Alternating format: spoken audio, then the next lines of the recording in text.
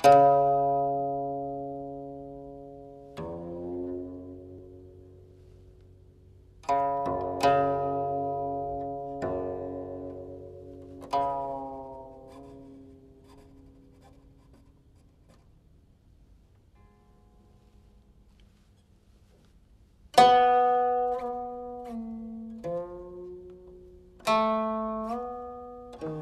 祝结合，为己畅灵，千年古建，四堵遗珍。坐落于王屋山路济水之源的河南省济源市，千百年来一直保存着一座神圣庄严的古老庙宇，这就是济渎庙。济渎庙，全称济渎北海庙，始建于隋文帝开皇二年，是隋唐以来历代朝廷祭祀济水和北海的场所，为四读庙中唯一完整保存的祭祀建筑群。济渎庙坐北朝南。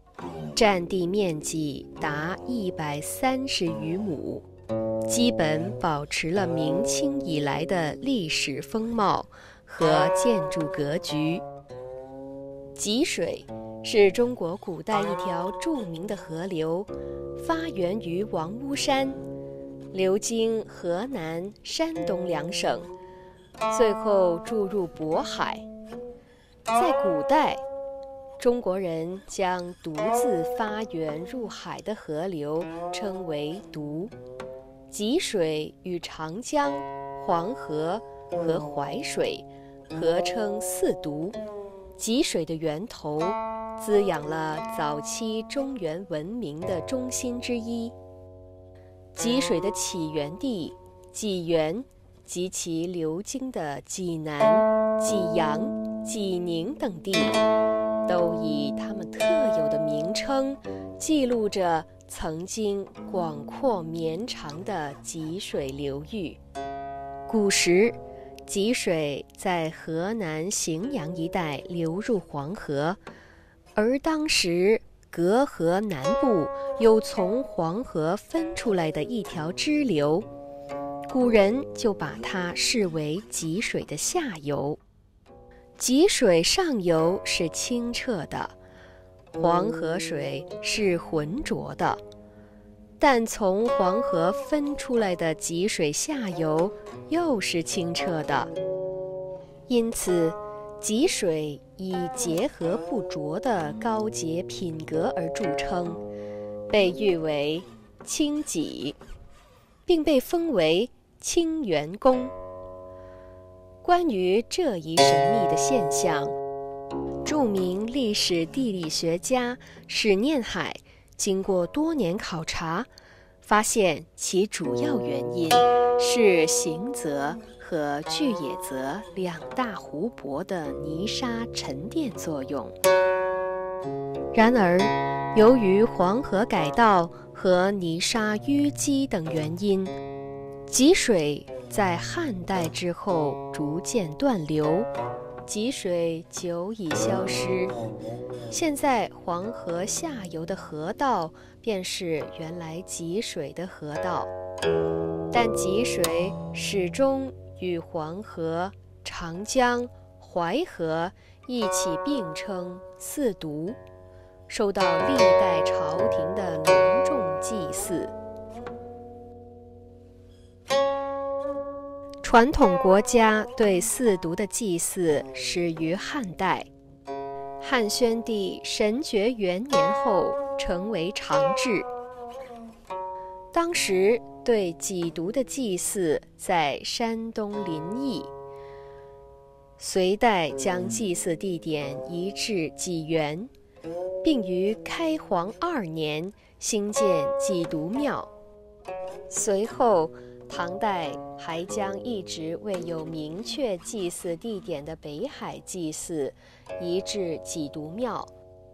唐德宗贞元十三年，在济渎庙后方修建了北海祠。济渎庙历经宋、元、明、清的历朝扩建，形成了一个庞大而壮观的建筑群。济渎庙位于济源市庙街，现存宋代以来的古建筑三十余座，是河南省现存最大的古代建筑群落。济渎庙分为四个区域，前为济渎庙，祭祀济水神；后为北海祠，祭祀北海神；东为玉香院，为古代济水钦差休息之所；西为天庆宫，包括祭祀玉皇大帝的玉皇殿。以及管理济渎庙的道士居住之所。走进济渎庙，首先映入眼帘的就是一座雄伟巍峨的大门，称为清源洞府门。济水神在唐代被封为清源公，宋代又被封为清源中护王。山门即由此得名。走进清源洞府门，迎面是一条长一百七十九米、宽三米的甬道，两侧整齐地种植着柏树，显得庄严肃穆。顺着甬道往前走，就到了济独庙中轴线上的第二道门。清源门，清源寓意清己之源，清澈一直是历代文人讴歌汲水的主题。此门于明代中期重建，门内四尊道教护法神像手持兵器，栩栩如生。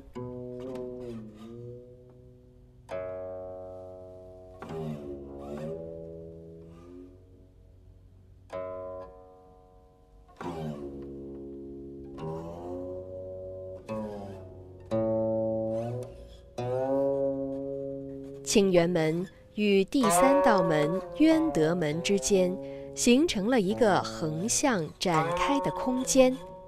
古代祭祀的队伍走到这里，开始举行一些附属祭祀和准备活动。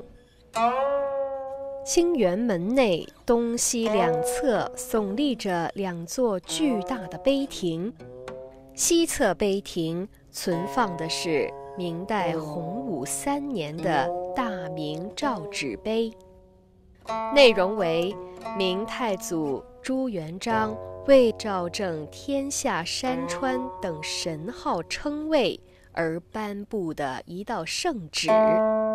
东侧碑亭存放的是济渎北海庙图志碑，此碑刊立于明天顺四年。该碑图文并茂，展现了明代中期济渎庙的盛况。碑的中部为济渎庙的布局图，碑的下部是志文，在碑的侧面还刻有目前所知的唯一的济水神像图。继续向前走进渊德门。映入眼帘的便是广阔的朗苑，这是中国传统上国家举行祭读祭祀的最核心的神圣空间。